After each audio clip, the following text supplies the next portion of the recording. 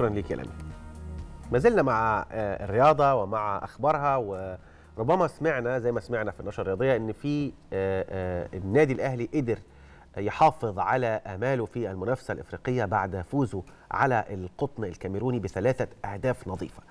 النادي الأهلي قدر إن هو كده يجمع أربع نقاط من ثلاث مباريات. صحيح كده الأهلي بيحتل المركز الثالث في المجموعة بعد سان داونز المتصدر بسبع نقاط والهلال السوداني بست نقاط. خلينا نتكلم عن الماتش فرص الأهلي في الصعود. كمان هنتطرق لمباريات الدوري الإنجليزي مع إسلام محمد الناقد الرياضي. إسلام نورنا في صباح الخير يا مصر. صباح الخير عليك. صباح الخير يا جمانة. صباح الخير عليكي وصباح الخير يا مصطفى وصباح الخير يا مصر على القناة الأولى وعلى كل السادة المشاهدين. صباح الخير. أهلا بك طيب وإحنا بنتكلم عن آه الأهلي وعودة قوية للنادي الأهلي.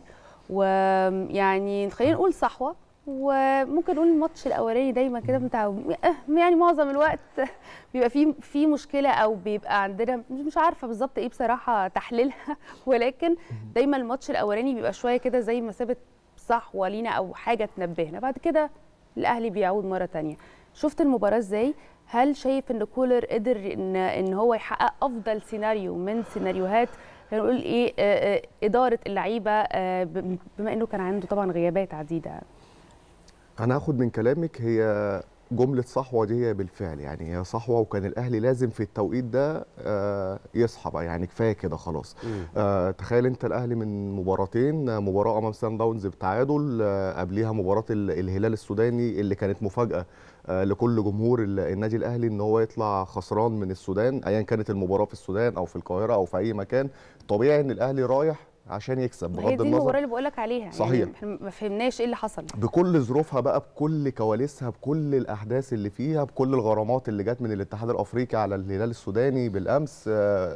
يمكن المباراة كان لها ظروف خاصة يا مصطفى. من قبل المباراة حتى نهاية المباراة. تخيل أنت الهلال السوداني بكل اللي كانوا موجودين هناك سواء الجماهير اللي كانتش من المفترض إن هي ما تكونش موجودة أساسا وده كان قرار من الكاف. رغم كده كان في عدد من الجماهير موجود المباراة قبل المباراة كان في أحداث كتير جدا من من تحرك النادي الأهلي. الأهلي ما كانش واخد راحته على الإطلاق هناك في في السودان وده أنا حذرت حذرت منه قبل ما النادي الأهلي يسافر إن المباراة هيكون فيها حاجات تانية خالص مم. بعيد بعيد عن المستطيل آه الأخضر آه سواء من من الجماهير آه السودانية اللي هم بيجوا. إحنا عندنا هنا في مصر الحقيقة إحنا بنتعامل مع الناس كلها بطيبة وبحسن نية. إحنا اتعودنا على كده. يعني إحنا اتعودنا إزاي نكرم ضيوفنا. ولكن اللي إحنا شفناه هناك بغض النظر بقى عن الأحداث اللي حصلت هي مباراة في كرة القدم. آه وده حقهم خلي بالك حقهم إن هم يقدروا على قد ما يقدروا إن هم يضغطوا على النادي الأهلي. النادي الأهلي طبعا اسم كبير فإنك أنت تكسب النادي الأهلي صحيح. أعتقد أعتقد دي مفاجأة كبيرة بالنسبة لجمهور الهلال السوداني. ولكن الأهلي رجع قدام سان داونز كنا نتمنى بكل تأكيد إن الأهلي يفوز ويسجل أول ثلاث نقط في في البطولة ولكن لم يحدث ذلك رغم إن الأهلي كان متقدم. يا مصطفى خلي بالك أنت وجمانة الأهلي كان متقدم على سان داونز ولكن ما قدرش يحافظ على التقدم ده. رجع رجع سان داونز وتعادل.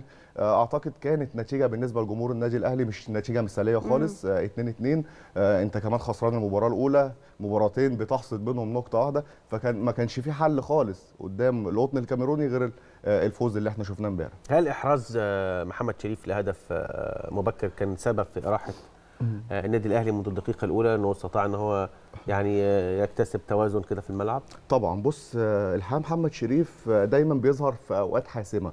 يعني لو رجعنا كده الفترات اللي فاتت هتلاقي محمد محمد شريف تحديدا في المباريات الكبيرة ممكن تلاقي مصطفى متواجد بشكل كبير وبيسجل وبيهدف. يعني بنشوفه في نادي الز... قدام قدام الزمالك بيقدر إن هو يستعيد فورمته وبيقدر إن هو يسجل. مباراة القطن برضو خلي بالك بكل الظروف اللي حصلت بالتعادل أمام سان داونز بالخسارة أمام الهلال كانت مباراة صعبة جدا. يعني الناس مستسهلة مباراة القطن الكاميروني على أساس إن أنت بتلاعب القطن الكاميروني. ولكن الظروف والأجواء المحيطة بالنادي الأهلي تحديدا مؤخرا مش هي أحسن حال. بال quality بتاع اللعيبة اللي موجودين الفترة الحالية مش أحسن حال. في أكتر من لاعب خلي بالك عليه علامات استفهام بشكل كبير جدا جدا جدا في النادي الأهلي. في بعض اللاعبين وأنا بأكد لك يا جومان وبأكد لك يا مصطفى ان يعني مش هقول لك ما يستحقوش يرتدوا التيشيرت النادي الأهلي ولكن مش عارفين قيمة التيشيرت بتاع النادي الأهلي. الحقيقة تيشيرت النادي الأهلي تيشيرت كبير جدا. في ناس بتتمنى بس تعدي من أمام سور. آه سور النادي الأهلي طبعا من أمام آه ملعب التتش. ولكن تخيل أنت في لعيبه مش مصدقة نفسها إن هي بتلعب في النادي الأهلي. وإحنا عمرنا ما شفنا النادي الاهلي بالمظهر اللي إحنا شايفينه الفترات اللي فاتت. هأكد لك على حاجة إن كل فريق كل فريق بكل تأكيد بيمر بكبوات.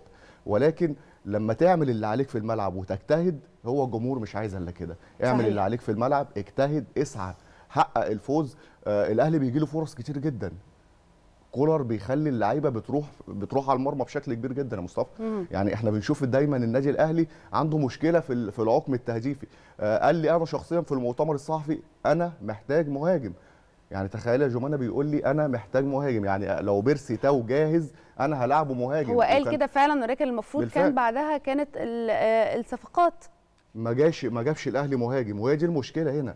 يعني هي المشكلة إن الأهلي ما جابش مهاجم. آه كولر مش مطلوب منه إن هو ينزل يسجل. يعني هو هو بي هو برضو برر دي عشان. يعني عشان نبقى غطينا كل الجوانب. هو قال في آه، في تصريح ليه إنه اللعيبة راجعة من كأس العالم للأندية تعبانة ومجهدة وعملت أداء جيد جدا في البطولة دي. ف بي يعني بيتكلم في فكرة إن هم اللعيبة تعبانة. بصي أنا معاه جدا أنا معاه. جدا. بصي تخيل انت إن الأهلي بيلعب في ثلاث بطولات آه، منفصلة عن بعض. مهم. يعني بيرجع من كأس العالم للأندية بيخش على دوري أبطال أفريقيا بيخش بعد كده على الدوري المحلي. تخيلي وهو ده قدر النادي الأهلي. ولازم أي لاعب بيجي النادي الأهلي بيبقى عنده الشخصية دي إن الأهلي بي ما بيشاركش في بطولة واحدة لأ الأهلي بيشارك في عدة بطولات. وعاجبني جدا عاجبني جدا شخصية اللاعب أحمد الكندوسي اللاعب الجزائري الحقيقة لاعب مم. مميز جدا. اللاعب ده أنا كنت براهن عليه من قبل ما يجي ال- النادي الأهلي شايفه صفقة مميزة جدا شفناه امبارح. آه الحقيقة يعني عامل رمانه الميزان زي ما إحنا ما بنقول في وسط تمام. ال- الملعب. مقدم مستوى جيد جدا ال- المباريات اللي اللي فاتت حتى لما كان بينزل في وقت قليل جدا. ولكن لاعب عنده الشخصية.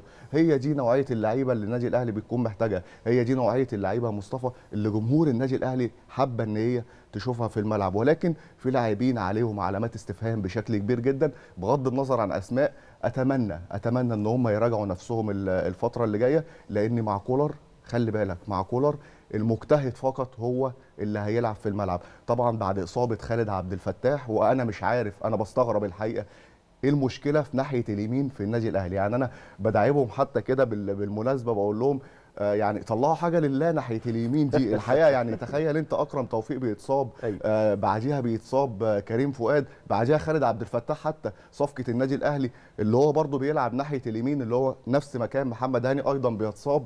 فلا يعني الموضوع هنا يعني بقول لمحمد هاني انت محظوظ جدا الحقيقة يعني برغم حتى سوء ادائه الفترات اللي, اللي فاتت ولكن سبحان الله يعني هو لاعب محظوظ بشكل كبير جدا. نتمنى نتمنى نشوفه بقى الفترات اللي جاية آه، يفوق. لأن محمد هاني خلي بالك هو مش مهم بالنسبة للنادي الأهلي فقط لا هو مهم أيضا في ظل الظروف الحالية آه، لمنتخب مصر.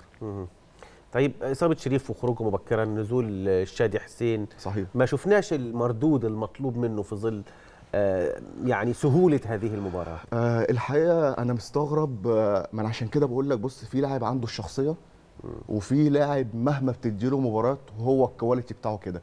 يعني لو لو رجعنا لحسام حسن لما كان في النادي الأهلي ما كانش هو حسام حسن اللي في سموحة اللي تخيل بياخد لاعب الجولة اللي فاتت في في الد- في الدوري. يعني آه، رابطة الأندية أعلنت إن حسام حسن هو لاعب آه، الجولة. مش هو حسام حسن اللي كنا شايفينه مع النادي الأهلي. أيضا شادي لو لو رجعنا لل- للذاكرة مع سيراميكا كان مكسر الدنيا. فهي شخصية اللاعب. تيشيرت النادي الأهلي وحجم الضغوطات ولا تعاون الناس اللي. حواليه. لا مش أنا أنا ما مش هو هو نفس اللاعب ما أنت بتقول كده. هو نفس اللاعب. طيب يعني هو لعب هنا كويس ويلعب ملعب بيلعب آه، لأن النادي الأهلي دايما استرس ودايما بيتحط تحت ضغط يا مصطفى. م. يعني دايما جمهور النادي الأهلي ما بيستحملش. ولكن ولكن جمهور النادي الأهلي دايما تحس إن هم في ظهر اللعيبة. ايا كان مستواك في الوقت ده. ولكن تخيل أنت لما تاخد فرص وتلعب. شادي مش أول مرة ياخد فرصة. يعني آه، شادي امبارح لعب تقريبا حوالي ساعة كاملة. إحنا ما شفناش ما. شفناش حاجة لشادي يعني ما شفناش حاجة مؤثرة آه على المرمى آه لما كان حسام موجود أيضا ما شفنالوش حاجة مؤثرة تخيل بيروح سموحة بيتألق فهي هي المشكلة في اللاعب نفسه طيب. في شخصية بما إنك اللاعب بقى بتتكلم عن لاعب وشخصية اللاعب هل آه وهرجع تاني آه لأحمد القندوسي. كنت تتكلم عليه أحمد القندوسي خلاص من وجهة نظرك حجز مكانه في النادي الأهلي أكيد. في ظل الظروف الحالية بصي عمرو السولية لو رجعنا الفترة اللي فاتت هتلاقيه مجهد بشكل كبير جدا. عمرو السولية تقريبا الفترات اللي فاتت كل إصاباته هي إصابات عضلية هي إجهاد. آه وجود الكندوسي كمان مع وجود مروان عطية آه لأن ديانج الفترة اللي فاتت أعتقد إن ديانج تفكيره خرج بره الملعب بشكل كبير جدا.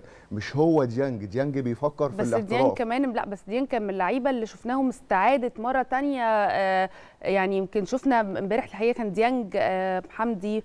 أعتقد معلول كمان كان من اللعيبة اللي است- شفنا استعادة لمستواهم بص يا. جمانة ديانج عنده أكتر من كده بكتير جدا جدا جدا. يعني ديانج من اللعيبة المميزة جدا اللي تحطيها في وسط الملعب وانت مطمنة. بيلعب لك box to box يعني يقدر يحول لك من الدفاع للهجوم بشكل كبير جدا. عنده كمان حتة مميزة جدا وهي الزيادات لقدام وإن هو بيقدر يصوب إن هو كمان عنده رؤية آه، مميزة جدا للملعب. بيعرف كمان يعمل assist ات خلي بالك. ودي بتبقى نادرة جدا من لعيب defender وسط الملعب مش لاعب playmaker defender وسط الملعب. فالحقيقة ديانج لاعب مميز جدا. نتمنى تشوفه ال- الفترة اللي جاية مع النادي الأهلي. أنا أنا شخصيا أتمنى جمانة إن هو يبعد بقى تفكير حتة الاحتراف دي.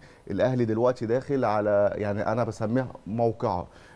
عنده مباراة سان داونز اللي جاية مباراة لا بديل فيها مصطفى عن. إنك أنت ترجع من جنوب أفريقيا سواء متعادل أو كسبان آه، أي نتيجة غير التعادل بالنسبة للنادي الأهلي أو آه، المكسب أعتقد هتحط الأهلي في مأزق كبير جدا خاصة إن المجموعة متشابكة. صن داونز عنده سبع نقط من ثلاث مباريات آه، الهلال عنده ست نقط من آه، من آه، من ثلاث أيضا مباريات.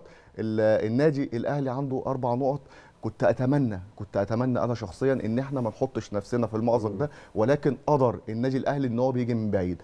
وجود صن داونز في المجموعة خلي بالك هو فال خير على النادي الأهلي. مع وجود أيضا الهلال السوداني مؤخرا لو رجعنا كده بالذاكرة هنلاقي إن خلاص الاثنين بقوا حاجة أساسية في القرعة مع النادي الأهلي وكأنها قرعة آه، مكررة. سان داونز دايما بيكون وش الخير على النادي الأهلي. بتلاقي الأهلي بيروح في منطقة بعيدة جدا يا مصطفى. ممكن سان داونز حتى لو صعد من الدور ده بيخرج من من الأدوار ال- المقبلة. سان داونز بيلعب كرة جميلة جدا. ولكن مش هو الفريق اللي ممكن يكون نفسه طويل تمام. إن هو يفكر ياخد آه، طب قبل. سان داونز نرجع للمباراة اللي بنتكلم عليها. لما يعني آه، كولر هل تعتقد إن كولر اختار التوقيت الصحيح للدفع بالثلاثي محمد أشرف وكوكا ورأفت خليل؟ هل ده كان كويس ولا كان ليه رد فعل غلط؟ بص رأفت خليل تحديدا تحديدا وبأكد لك من خلال معلوماتي أنا إن الراجل مقتنع بيه بشكل كبير جدا جدا جدا.